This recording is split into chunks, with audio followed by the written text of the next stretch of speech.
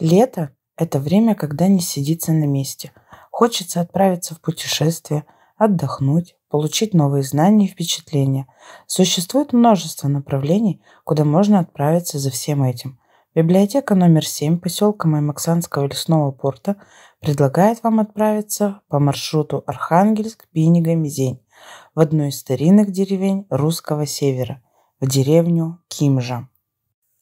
Ваш путь будет пролегать по живописной автодороге, идущей вдоль рек, северных деревень и карстовых гор через Пинежский природный заповедник. На заповедной территории имеется около 90 пещер, расположенных в заповеднике и охранной зоне.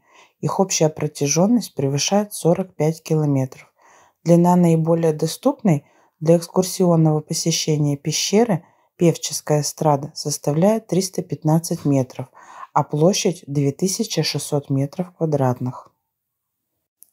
Река Сотка пересекает заповедник на протяжении 30 километров.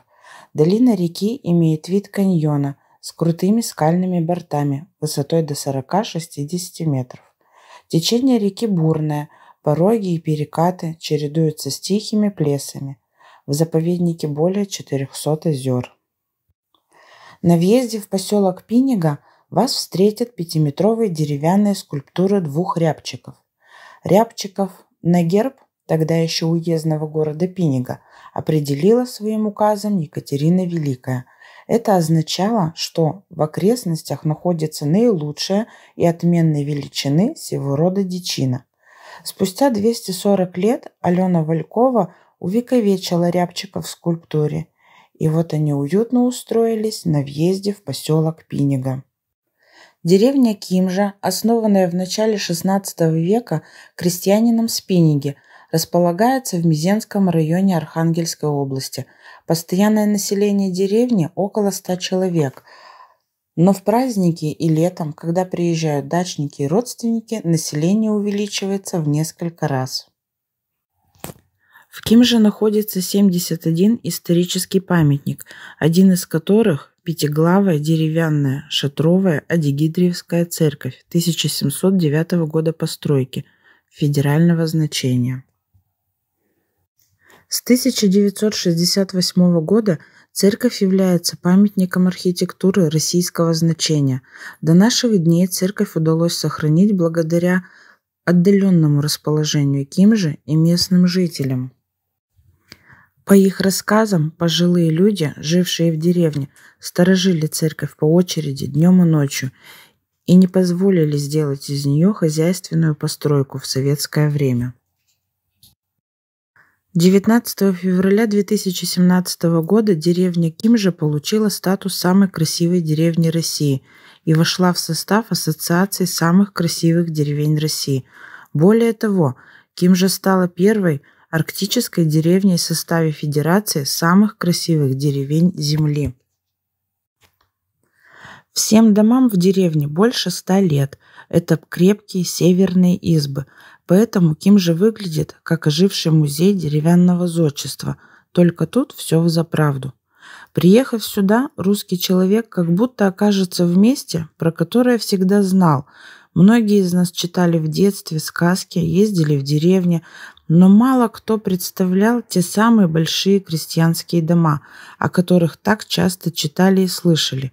А здесь вы увидите их и сразу узнаете.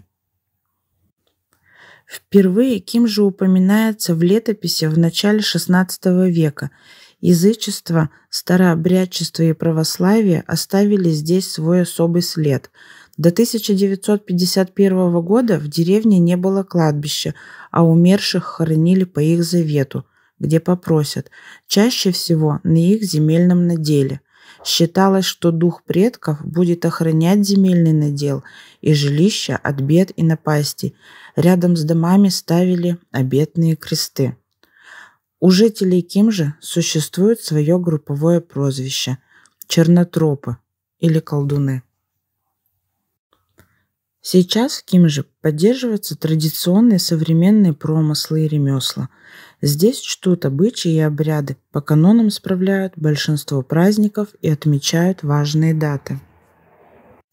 В самобытной деревне Кимжа создан ландшафтно-музейный комплекс самой северной мельницы в мире. В него входят две мельницы Столбовки Наряжа.